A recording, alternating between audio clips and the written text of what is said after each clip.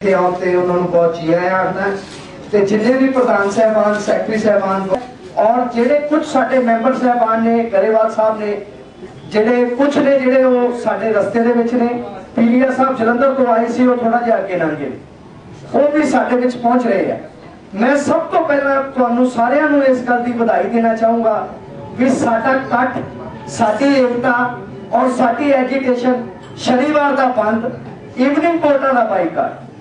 ਇਹ ਸਾਰਾ ਇੰਨਾ ਸਕਸੈਸਫੁਲ ਅੱਜ ਤਾਈਂ ਰਿਹਾ ਕਿ ਸਾਨੂੰ ਜਿਹੜਾ ਹੈ ਇਸ ਦੇ ਵਿੱਚ ਇਸ ਐਜੀਟੇਸ਼ਨ ਨੂੰ ਅੱਗੇ ਵਧਦੇ ਹੋਏ ਸਾਡੀਆਂ ਮੰਗਾਂ ਨੂੰ ਲੈ ਕੇ ਹਾਈ ਕੋਰਟ ਵੱਲੋਂ ਸਾਡੇ ਸਾਰਿਆਂ ਦੇ ਇਕੱਠ ਨੂੰ ਦੇਖਦੇ ਹੋਏ ਜਿਹੜਾ ਸੀਗਾ, ਉਹਨਾਂ ਦੇ ਪੂਰਨ ਰੂਪ ਤੇ ਬੜੇ ਵੱਡੇ ਪੱਧਰ ਤੇ ਵਿਚਾਰ ਕੀਤਾ ਜਾ ਪਟਿਆਲੇ ਦੇ ਪ੍ਰਧਾਨ ਜਿਹੜੇ ਮਿਸਟਰ ਗਰੇਵਾਲ ਸੀਗੇ, ਉਹਨਾਂ ਦੇ ਥਰੂ ਮਿਲੇ ਸੀਗੇ।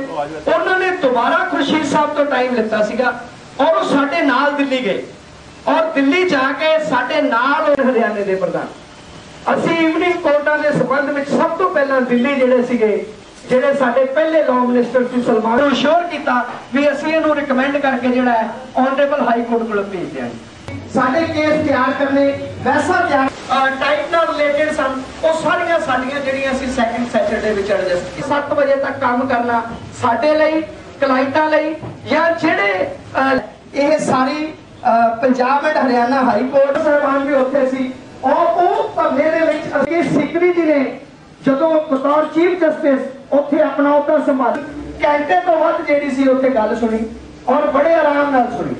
ਉਹ ਵੀ ਜੇ ਸ੍ਰੀ ਗੁਰੂ ਅਰਜਨ ਦੇਵ ਜੀ ਦਾ ਜਨਮ ਦਿਨ ਹੈ ਜਾਂ ਉਹਨਾਂ ਦਾ ਕੋਈ ਸ਼ਹੀਦੀ ਦਿਨ ਹੈ, ਉਹ ਵੀ ਜਿਹੜਾ ਸੈਕਿੰਡ ਸੈਟਰਡੇ ਦੀ ਛੁੱਟੀ ਨਾਲ ਐਡਜਸਟ ਕੀਤਾ। ਕਮੇਟੀ ਦਾ ਮੈਂਬਰ ਹੋਵੇ। ਕਿਉਂ? ਕਿਉਂਕਿ ਜਿਹੜੇ ਪ੍ਰਧਾਨ ਹੈ, ਜਿਹੜੇ ਵਕੀਲ ਨੇ ਉਹ ਲੀਗਲ ਸਿਸਟਮ ਤੋਂ ਵਾਕਿਫ ਨੇ। ਉਹਨਾਂ ਨੂੰ ਇਹ ਵੀ ਪਤਾ ਸਾਡੇ ਸ਼ਹਿਰ ਦੇ ਵਿੱਚ ਕਿਹੜੀ ਚੀਜ਼ ਦੀ ਡਿਮਾਂਡ ਹੈ। ਮੋਸਟ ਆਫ ਦੀ ਗ੍ਰੀਵੈਂਸਸ ਜਿਹੜੀਆਂ ਹੈਗੀਆਂ ਅਫਸਰਾਂ ਦੀਆਂ ਜਾਂ ਲੋਕਾਂ ਦੀਆਂ ਉਹ ਕਚਹਿਰੀ ਨਾਲ ਜੁੜੀਆਂ ਹੋਈਆਂ। ਬਾਇਸ ਰੱਖਦੇ ਹੈ ਕਿ ਜੀ ਸੈਟਰਡੇ ਹੈ ਜਿਹੜਾ ਵਰਕਿੰਗ ਡੇ ਬਾਹਰ ਕੌਂਸਲ ਚ ਰਿਹਾ ਮੈਂ ਸਾਰਾ ਸਾਲ।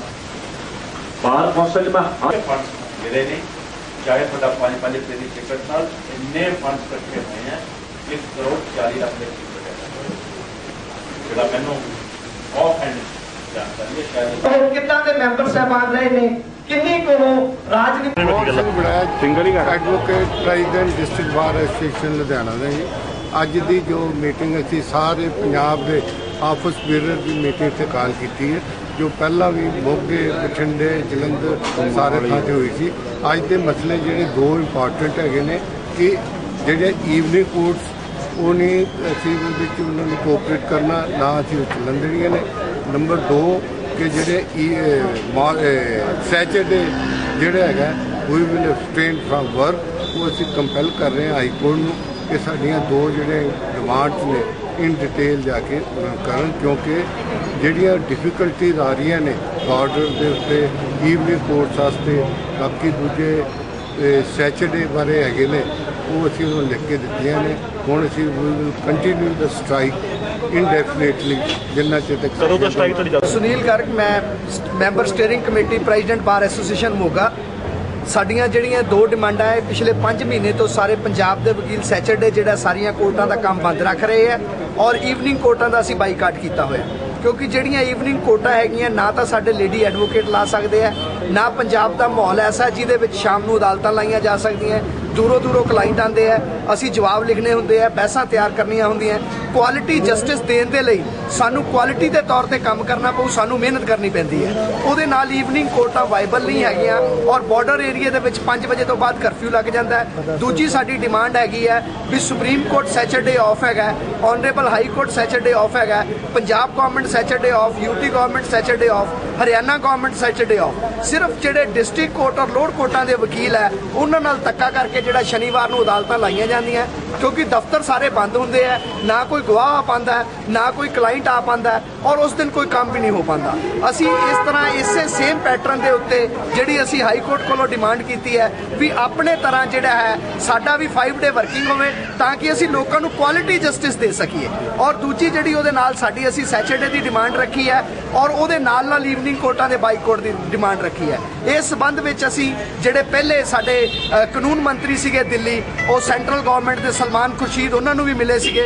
ਹੁਣ ਅਸ਼ਵਨੀ ਕੁਮਾਰ ਜੀ ਨੂੰ ਵੀ ਮਿਲਾਂਗੇ chief justice Punjab and Haryana high court ਨੂੰ ਵੀ ਮਿਲੇ ਆ 11 ਸੀਨੀਅਰ ਜੱਜਿਸ ਨੂੰ ਮਿਲੇ ਆ ਜਿੱਥੇ ਪਿਛਲੇ ਦਿਨੀ ਲੁਧਿਆਣੇ ਚੀਫ ਜਸਟਿਸ ਨੇ ਸਾਨੂੰ ਅਸ਼ੋਰੈਂਸ ਦਿੱਤੀ ਸੀ ਵੀ ਸਾਲ ਦੇ ਸ਼ੁਰੂ ਵਿੱਚ ਵਕੀਲਾਂ ਦਾ ਜਿਹੜਾ 5 ਦਿਨ ਦਾ ਜਿਹੜਾ ਹਫਤਾ ਕਰ ਦਿੱਤਾ ਜਾਊਗਾ ਮੈਂ Kamal Jyoti advocate district bar association Ludhiana ਤੋਂ।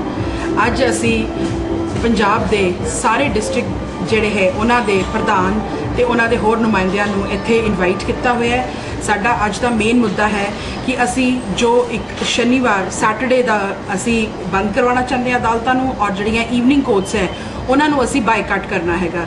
ਔਰ ਜੋ ਅੱਜ ਦੀ ਸਾਡੀ ਇੱਥੇ ਮੀਟਿੰਗ ਹੋਈ ਹੈ, ਜਿਸ ਤਰੀਕੇ ਨਾਲ ਇੱਥੇ ਸਾਰੇ ਡਿਸਟ੍ਰਿਕਟ ਦੇ ਪ੍ਰਧਾਨ ਅਤੇ ਉਹਨਾਂ ਦੇ ਐਸੋਸੀਏਟਸ ਇੱਥੇ ਆਏ ਨੇ, ਸਾਨੂੰ ਪੂਰੀ ਉਮੀਦ ਹੈਗੀ ਹੈ ਕਿ ਇਹ ਜਿਹੜੀ ਸਾਡੀ ਅੱਜ ਦੀ ਮੀਟਿੰਗ ਹੈ, ਇਹ ਬਹੁਤ ਕਾਮਯਾਬ ਗਈ ਹੈ ਔਰ ਅਸੀਂ ਜਿਸ ਮੁੱਦਿਆਂ ਨੂੰ ਲੈ ਕੇ ਇਹ ਮੀਟਿੰਗ ਅੱਜ ਦੀ ਆਰਗੇਨਾਈਜ਼ ਕੀਤੀ ਹੈ, ਇਹ ਮੁੱਦੇ ਸਾਡੇ ਨਾਲ ਹੀ ਰਹੇ ਔਰ ਸਾਡੇ ਨਾਲ ਰਹਿਣਗੇ ਵੀ ਔਰ ਸਾਡੇ, ਸਾਨੂੰ ਇਹਨਾਂ ਦੇ ਵਿੱਚ ਕਾਮਯਾਬੀ ਵੀ ਮਿਲੇਗੀ। ਬਹੁਤ ਬਹੁਤ ਸ਼ੁਕਰੀਆ।